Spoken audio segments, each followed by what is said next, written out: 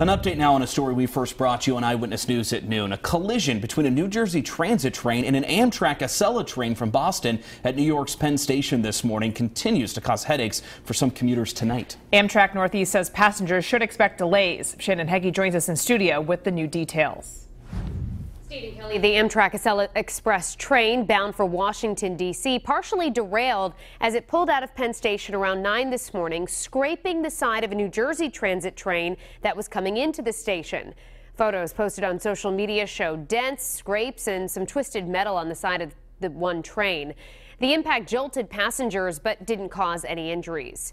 New Jersey Transit said on Twitter its train was able to make it to the platform where its passengers were let off. And tonight we're hearing from one passenger whose window was blown out during the impact. Uh, it was an explosion next to my head, followed by screams, and you know I, I cursed when it happened. Um, and and then after that, a huge, loud raking sound behind me and screams behind me, um, and then just everyone yelling, "Is everyone okay? Is everyone okay?" Now, Amtrak Northeast posted on its Twitter account around 11:30 this morning that Acela and Northeast regional trains had resumed service to and from Penn Station, but that passengers should expect delays. Amtrak did not immediately respond to requests for comment. I'm Shannon Hegy, Eyewitness News.